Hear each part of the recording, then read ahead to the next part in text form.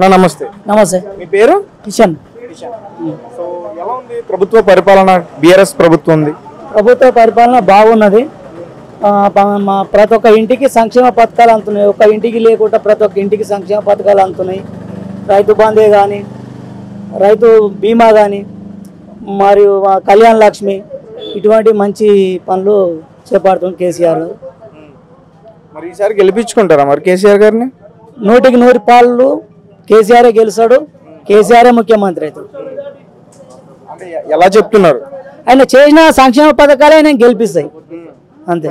ఖచ్చితంగా. అంటే ఎక్కడో ప్రజల్లో అంటే కొన్ని కొన్ని విషయాల్లో అసంతృప్తి ఉంది అంటున్నారు కదా. పెన్షన్ విషయంలో కానీ డెవలప్మెంట్ విషయంలో కానీ అది అన్ని ఉట్టి మాటలు అది అపోజిషన్ వాళ్ళు చేసేటి అసత్యాలు తప్పితే కేసీఆర్ ప్రతి ఒక్కరికి పార్టీ పార్టీలకు పార్టీలకు అతీతంగా చేస్తుండు.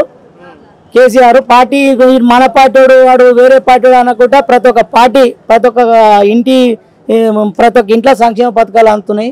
దానివల్ల కేసీఆర్ మా మెజారిటీతో గెలుస్తాడు. ఇది సత్యం. ఓకే అంటే కేసీఆర్ గారి గురించి చెప్తున్నారు ఓకే. మరి కేటీఆర్ గారి గురించి కేటీఆర్ కూడా పంచిన పరిశ్రమలు చేస్తున్నారు కదా. పరిశ్రమలు చేస్తున్నాడు. ఈరోజు మరి ఐటీ అది చదువుకున్న పిల్లలకు కూడా పరిశ్రమలు అయితే కూడా అది బయటకు వెళ్ళి కూడా పరిశ్రమలు చేస్తున్నాడు. సీఎం అయ్యే వాల్యూస్ ఉన్న పర్సన్ ఆ, ఖచ్చితంగా ఎందుకు చదువుకున్నాడు? జ్ఞానం తెలిసినోడు. హండ్రెడ్ పర్సెంట్ సీఎం క్యాండిడేట్ ఆయన కూడా. ఒకవేళ ఆయన సీఎం అయ్యే అవకాశం ఉంటే మరి ఆయన వెనకాల మీరు ఉంటారా? ఉంటాము ఎందుకు ఉండము మంచి పని చేసే వాళ్ళు వెంబడే ఎప్పటికైనా ఉంటాం. ప్రజలు మంచి పని చేసే వాళ్ళు వెంబడే ఉంటారు. అంతే. Thank you so much okay అన్న నమస్తే. నమస్తే అన్న. అశోక్ గౌడ్. అశోక్ సో మీ నియోజకవర్గంలో ఇప్పటివరకు అభివృద్ధి ఎలా ఉంది?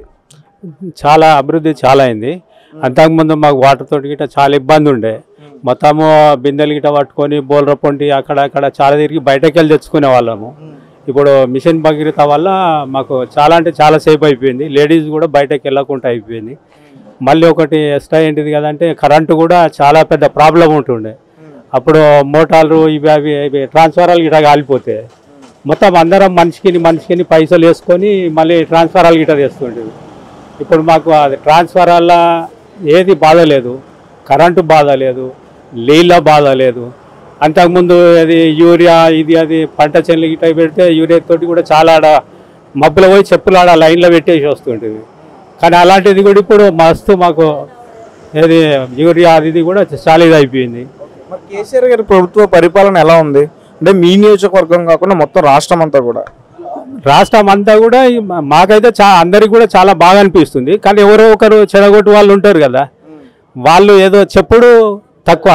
వాళ్ళు చేసుడు ఏదో చేయకుండా అని కూడా మేము ఇది చేస్తాము అది చేస్తాము రేపటి ఏంటిది ఇప్పుడు ప్రతి ఒక్కరికి కానీ ఇప్పుడు లేడీస్కి కానీ ఒంటరి మహిళలకు కానీ గర్భిణీ స్త్రీలకు కానీ స్కూల్ పిల్లలకు కానీ ప్రతి ఒక్కరికి కూడా ఇది కేసీఆర్ది అందలేదు అన్నట్టు ఎవరికి కూడా లేదు.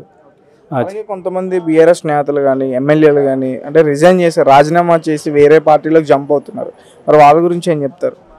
వాళ్ళ గురించి అంటే వాళ్ళు స్వార్థము. ఇప్పుడు ఆ జంపాయ వాళ్ళది స్వార్థము.